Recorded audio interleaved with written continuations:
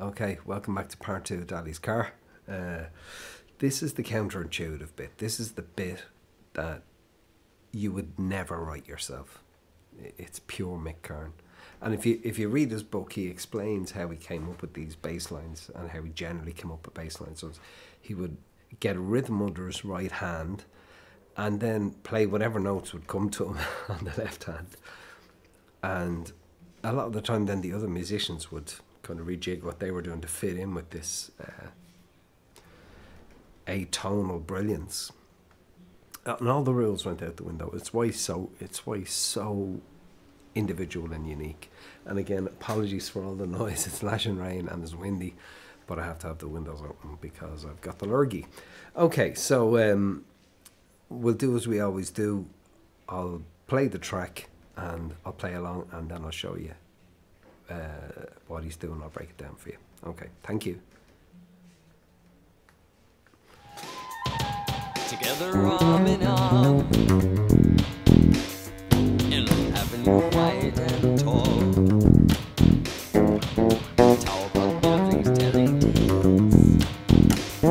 It's the spring or fall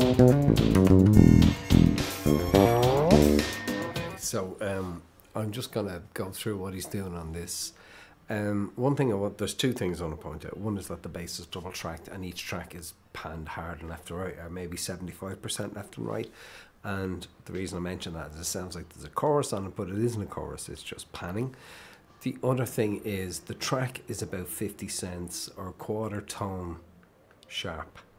So either you put it into software and pull it back, or tune your bass up, or just play along because it, it's not that far out that, that you couldn't. So we're going to start in the open G, and we're going to hammer on on the open G up to the ninth fret. Okay, so there's your first two notes, and then your next note is you're going to hammer from the ninth fret to the eleventh fret. So you get a kind of open G, ninth fret, ninth fret to the 11th fret. Um, you're going to do the same pattern down a string. So open D. Now th the rhythm of this is slightly different. So the first one's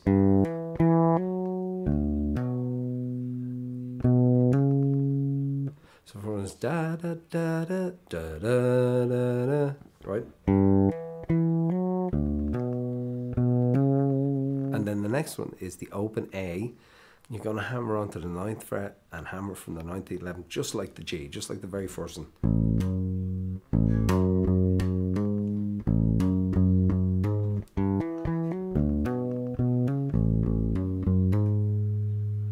And then uh, the open A. All right.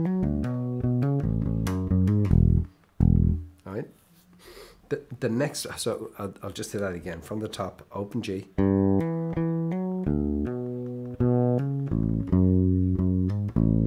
Sorry. Okay. Uh, I'll just pause this because I'm going to interrupt it and then I'll do the next bits. Like with so many of these uh, Mick bass lines, there's a central riff and then little colory uh, little things he does to to break it up, right? So you got this. We'll call this a central riff, right?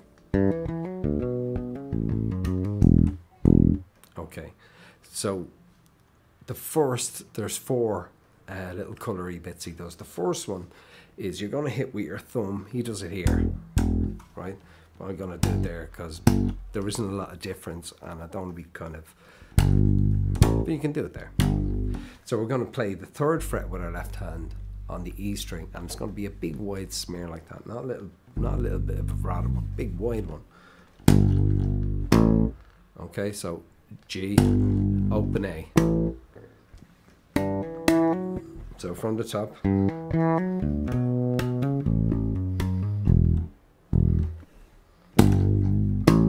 That's the first one. Now our second little riff in the in the verse part is we go again. Okay. And this is the one that's really striking. This one always stood out for me. He goes.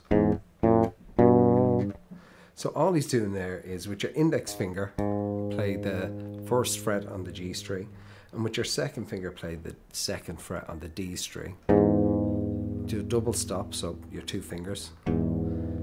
Then move that up one fret.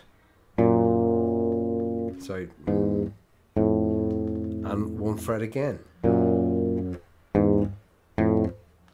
So it's the same shape.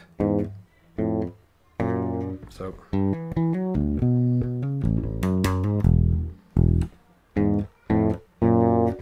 That's the second one. Okay, third one uh, is the central riff again.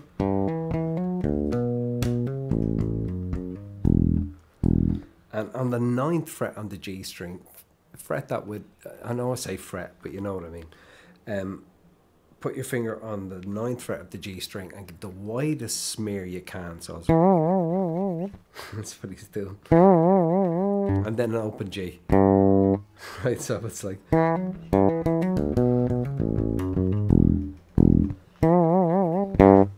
So just a wide smear on the ninth and then an open G. We're nearly there, one more. Okay, so the last one, the last part of the verse is you do your central riff.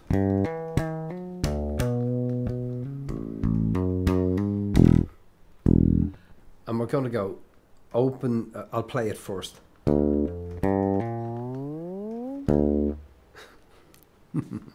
it's fab, isn't it? So we're going to go open D, hammer onto the third fret of the D, open G,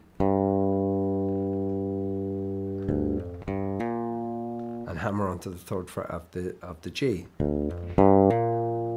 Now slide that note up as high as you can make it. With you see what happens is if you if you take too long to slide up, you lose the momentum. that the note stops ringing. So right, you get as high up as you can, and then you play an open D, and it's it's short notes. So it's.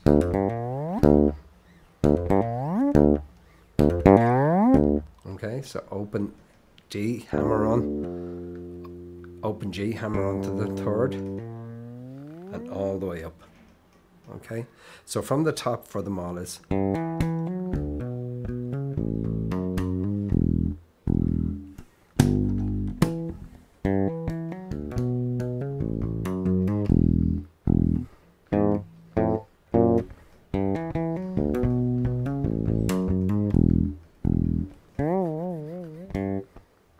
This.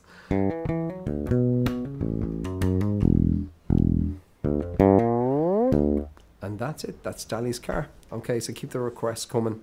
I hope that was helpful to you. Thanks again.